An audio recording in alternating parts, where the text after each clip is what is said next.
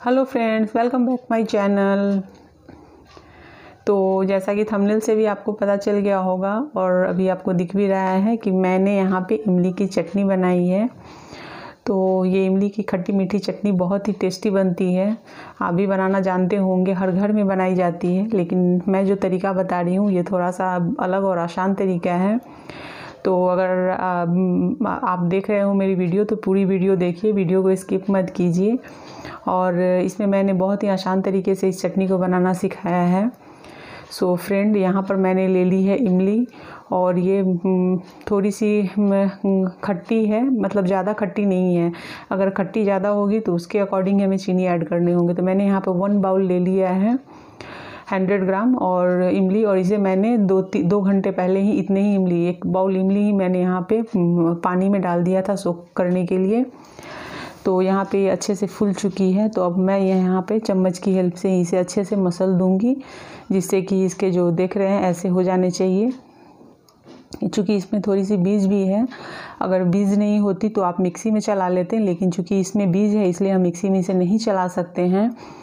तो यहाँ पे मैं इसे छन्नी से छानने वाली हूँ और इसमें आपको चूँकि ये बहुत ही मोटी है बहुत ज़्यादा इसमें गुदे हैं तो हमें यहाँ पे थोड़े थोड़े फ्रेश वाटर डाल करके और इसे हमें इसके जितने भी इसके अंदर हम्म, जो इमली के पल्प है उसे हमें बाहर निकाल लेना है मतलब बाउल में डाल लेना है पानी के के साथ में जिससे कि हम जिससे चटनी बनाने वाले हैं। तो पल्प आप देख सकते हैं काफ़ी अच्छे हैं इसमें।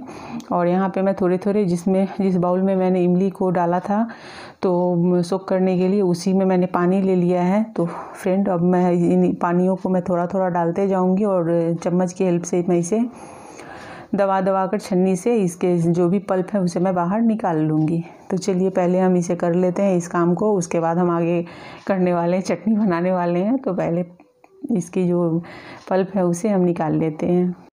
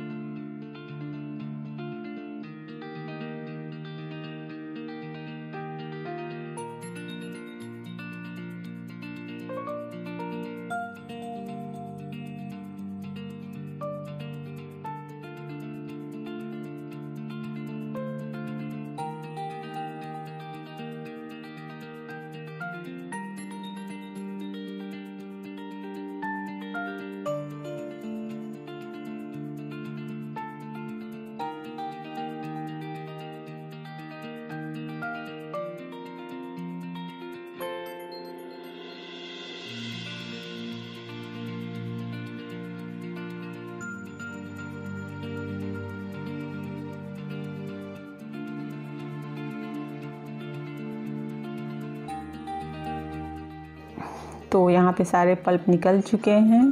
अब हम बनाना शुरू करते हैं। तो मैंने यहाँ पे ले लिए कढ़ाई और मैं उसमें अब डालूँगी थोड़े से ऑयल और कढ़ाई गर्म है तो मैं यहाँ पे ऑयल डाल रही हूँ और यहाँ पे मैंने वेजिटेबल्स ऑयल लिए हैं। आप भी कोई भी ऑयल ले सकते हैं। मैं वेजिटेबल्स ऑयल ले रही हूँ यहाँ पे। तो ज़्यादा ऑयल नहीं लेना है फ्रेंड यहाँ पे सिर्फ़ वन स्पून ही डालनी है। और इसमें ये गर्म हो गई है तो मैं यहाँ पे जीरा डाल रही हूँ। जीरा जैसे ही क्रैक कर रही है तो मैं यहाँ पर थोड़ी सी अदरक आप देख रहे हैं और एक हरी मिर्च है, बारीक कटी हुई, इसे मैं यहाँ पे ऐड करूँगी। इससे फ्रेंड इसकी जो चटनी के टेस्ट होते हैं, बहुत ही अच्छे आते हैं मतलब बच्चों को भी बहुत पसंद आता है। और मैंने यहाँ पे हरी मिर्च डाल दी, अब मैं यहाँ पे थोड़ा सा मैं यहाँ पे हींग डाल रही हूँ। हींग इमली की चटनी में डालना बहुत ही ज़रूरी होता है तो आप भी कभी भी स्किप मत कीजिएगा। हींग अगर डालते हो तो अच्छी बात है, नहीं डालते हो तो ज़रूर डालिए। और यहाँ पे मैंने जो इमली के जो पल्प निकाले थे तो वो मैंने यहाँ पे डाल दिया है और अब हमें इसे पकाना है। तो यहाँ पे मैं पहले मिक्स कर देती हूँ और जैसे ही थोड़ी सी उबाल आने लगेगी तो हमें यहाँ पे चीनी ऐड करनी है।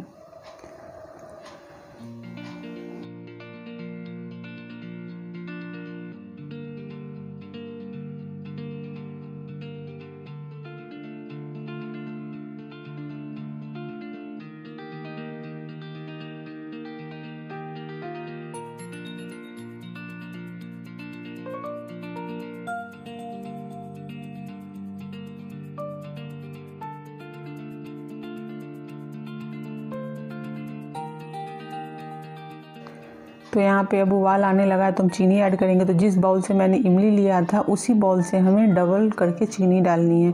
तो हमारी इमली बहुत खट्टी नहीं थी फ्रेंड तो इसलिए हम ज़्यादा चीनी नहीं डालेंगे। लेकिन अगर आपकी इमली खट्टी हो ज़्यादा तो आप बीच बीच में टेस्ट करके देख लीजिएगा कि खट्टी है तो आप उसको फिर वहाँ पर आप चीनी थोड़ी सी ऐड और कर दीजिए या फिर गुड़ ऐड कर दीजिए। अगर आपको गुड़ वाली चटनी अच्छी लगती हो तो फिर जितना आपको चीनी डालना है ना, उसका आधा चीनी डालिए और आधा आप गुड़ डाल दीजिए।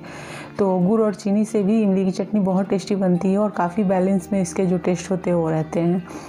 लेकिन मैं यहाँ पे चीनी वाली ही बना रही हूँ, मैं गुड़ वाली नहीं बना रही हूँ तो और इसे आप आराम से तीन चार महीने आप फ्रिज में रख के कंटेनर में रख सकते हैं। मैं तो चार पाँच महीने आराम से रखती हूँ छः छः महीने रहते हैं, बिल्कुल भी ख़राब नहीं होते। तो मैं जिस तरीके से आपको बता रही हूँ, इस तरीके से आप बनाएँगे तो छः महीने तक भी आपकी इमली की चटनी फ्रिज में ख़राब नहीं होने वाली है। लेकिन मैं चटनी को फ्रिज में ही रखती हूँ फ्रेंड तो यहाँ पे अब इसमें बॉयल आने लगे हैं और हमें इसे अब अच्छे से इसे पकाना है। तो मैं यहाँ पे फ्लेम को भी मैंने हाई रखा हुआ है और हाई फ्लेम पे ही मैं भी पकाने वाली हूँ इसे।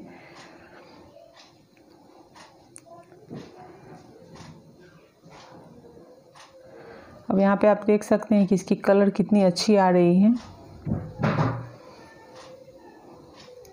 लेकिन अभी हमें इसे बहुत पकाना है क्योंकि बहुत पतली है ये। तो अभी हम इसे बहुत अच्छे से पकाने वाले हैं। और यहाँ पे मैंने थोड़ी सी लाल मिर्च ऐड कर दी है। जब बॉयल अच्छे से आने लगे ना, तब आप इसमें मैंने यहाँ पे कश्मीरी लाल मिर्च डाली है और यहाँ पर मैंने थोड़ा सा दालचीनी का पाउडर डाला है। तो दालचीनी के पाउडर से इमली की चटनी के जो टेस्ट होते हैं, बहुत ही अच्छे आते हैं। और यहाँ मैंने आधे चम्मच मैंने यहाँ पे ब्लैक सॉल्ट डाला है। ब्लैक सॉल्ट डालना कभी मत भूलिएगा। क्योंकि चीनी के साथ में नमक का बैलेंस जब होता है तो कोई भी मीठी चीज़ बहुत अच्छी बनती है। तो यहाँ पे मैंने जो डाला है, आपने देखा है कि आधे चम्मच मैंने कश्मीरी लाल मिर्च हाफ़ टी स्पून मैंने यहाँ पे डाला है दालचीनी पाउडर और हाफ़ स्पून मैंने यहाँ पे डाला है ब्लैक सॉल्ट तो आपने ये सब ऐड करना है इस चटनी में। तो इसलिए मैंने कहा था शुरू से ही कि आप पूरी वीडियो देखिएगा, वीडियो को स्किप मत कीजिएगा, क्योंकि मैं बीच बीच में कुछ मसाले ऐसे ऐड करने वाली हूँ। कि जिससे कि ये चटनी जो है बहुत टेस्टी बनेगी और ये ख़राब भी नहीं होगी। और फ्रेंड, एक चीज़ और, हमने जो यहाँ पे हींग ऐड किया है, हींग ऐड करने के दो कारण हैं। एक तो हींग से जो चटनी होती है, वो बहुत ही टेस्टी बनती है और दूसरी जो है, ये ख़राब जल्दी नहीं होती है। आपको अगर इसे स्टोर करना है तो आप हींग ज़रूर ऐड कीजिएगा, जिससे कि ये लंबे समय तक ख़राब नहीं होती है। तो अब हमें इसे अच्छे से बॉयल आने देना है और इसे हमें मतलब गाढ़ा करना है। इमली की चटनी को जो इमली की चटनी गाढ़ी होती है तो हमें इसे काफ़ी देर तक इसे पकाना है। तो यहाँ पे हम फ्लेम को रखेंगे हाई लेकिन कलछी को हम यहाँ रोकेंगे नहीं, चलाते रहेंगे, जिससे कि ये लगे नहीं। तो यहाँ पे ये है, अब ये लंबा प्रोसेस रहता है। अगर आपको कुछ काम हो तो आप यहाँ पे फ्लेम को कर दीजिए लो या मीडियम और कुछ काम भी है एक दो मिनट के तो आप करके आ सकते हैं। तो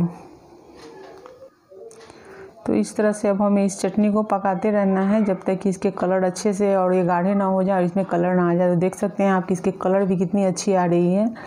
तो आप यहाँ पे मिर्च में हमेशा कश्मीरी मिर्च यूज़ कीजिएगा, जिससे कि इसके कलर बहुत ही अच्छे आएँगे। और चीनी पे इसके कलर अच्छे आते हैं। गुड़ अगर डालते हैं, हम सिर्फ़ गुड़ में बनाते हैं तो इमली की चटनी जो होती है थोड़ी सी काली हो जाती है। तो वो भी अच्छी लगती है, इसलिए मैं चीनी वाले ज़्यादा बनाती हूँ, क्योंकि मुझे इसके इमली के जो चटनी के कलर होते हैं, वो काफ़ी अच्छे आते हैं, ब्राइट होते हैं थोड़े से। तो दिखते थोड़े अच्छे हैं तो ऐसे टेस्ट तो दोनों का बहुत अच्छा होता है, इमली वाले का भी और गुड़ वाले का भी। वैसे मैं ज़्यादातर या तो सिर्फ़ चीनी का बनाती हूँ, चीनी डाल के, या फिर गुड़ और चीनी दोनों को इक्वल इक्वल डालती हूँ मैं।